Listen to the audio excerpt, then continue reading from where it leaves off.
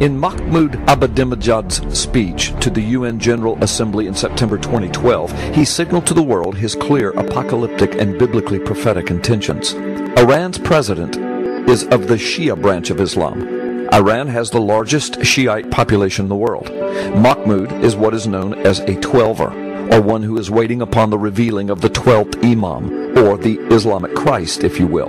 The name of this twelfth Imam, the Islamic ruler who is to come, is the Mahdi, or Muhammad al-Mahdi. The Shiite Muslims believe that the rightful throne of Islamic power belongs only to the direct descendants of Muhammad, their original prophet and deliverer of the Quran. The 11th descendant, they say, died in the late 800s AD. The Shiites believe that his descendant then went into hiding because of intense persecution in those days and has been alive supernaturally ever since, waiting to reveal himself in the last days. The Twelvers believe that Mahdi is coming back with Jesus the prophet and other righteous followers.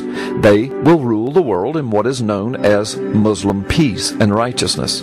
The Sunnis also believe in a coming Mahdi, but they believe that he will arrive as a normal man who the world will look to for peace and security. In Ahmadinejad's UN speech in September, he called clearly for a, quote, new world order. He was not speaking of the New World Order that a New Ager would speak of, for example, but he was calling for a worldwide Islamic order under the soon returning Islamic Mahdi. He actually went on in that speech to say that very thing. Listen to selected quotes from his speech. Quote, There is no doubt that the world is in need of a new world order and a fresh way of thinking. Allah has promised us a man of kindness, a man who loves people and loves absolute justice, a man who is a perfect human being and is named Muhammad al-Mahdi, a man who will come in the company of Jesus Christ and the righteous. The arrival of this ultimate Savior will mark a new beginning, a rebirth, and a resurrection it will be the beginning of peace, lasting security, and genuine life.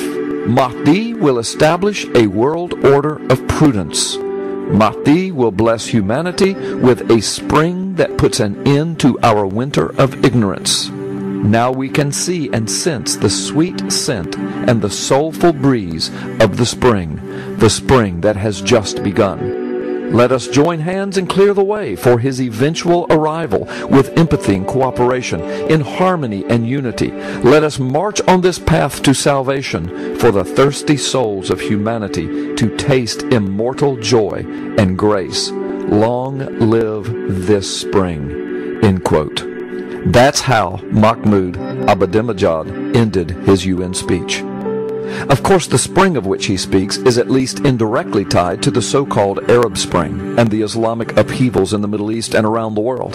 The one world order of which he speaks means a world order under Sharia law and Islamic rule through the Islamic Christ, Mahdi.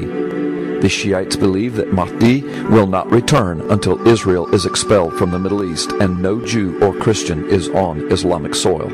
By calling Mahdi the ultimate savior, of course, the divinity, deity, and saving grace of Jesus Christ is denied, and that title is transferred to the Islamic Mahdi. In other words, the Islamic Mahdi is the Antichrist, the one who sets himself up as the Christ and blasphemes all that is holy.